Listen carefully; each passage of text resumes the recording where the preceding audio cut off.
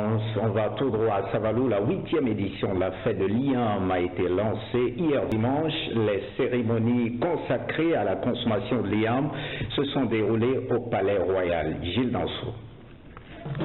Des rituels qui annoncent la consommation de la nouvelle Inyam.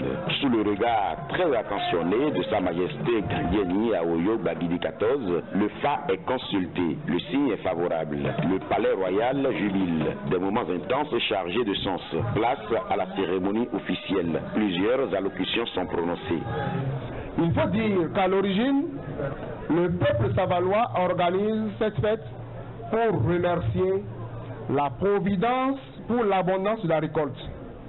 Mais cette fête, devenue au fil des temps une rencontre touristique, est aussi l'occasion pour le peuple de Savalou de vouer un culte aux ancêtres pour avoir favorisé la saison qui a permis la bonne récolte de Niam. À cet effet, le peuple de Savalou fait des sacrifices aux divinités et organise plusieurs activités socio-culturelles en guise de diversement. Des espaces culturels et culturels qui rassemblent autour des questions de développement.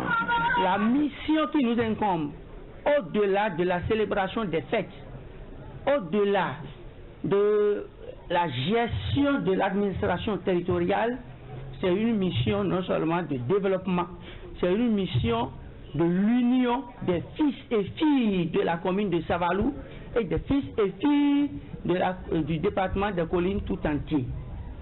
Nul ne serait de trop pour nous permettre d'atteindre cet objectif. Nous savons que notre pays connaît un problème de changement climatique. Il va falloir que tous les Savalois, tous les Béninois s'unissent, parce que si on veut des ignames demain, on a un problème de pluie.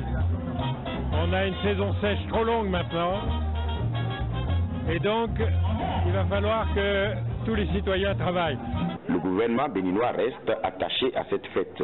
L'unité, la solidarité, parce que Savalou doit se développer. Nous devons prendre le nouveau départ pour le développement de notre commune. Ensemble, nous serons plus forts. Ensemble, nous pouvons bâtir notre région. Je souhaite, au nom du gouvernement, que cette unité soit aujourd'hui retrouvée à Savalou. Savalou, en fait, reste collé aux réalités endogènes.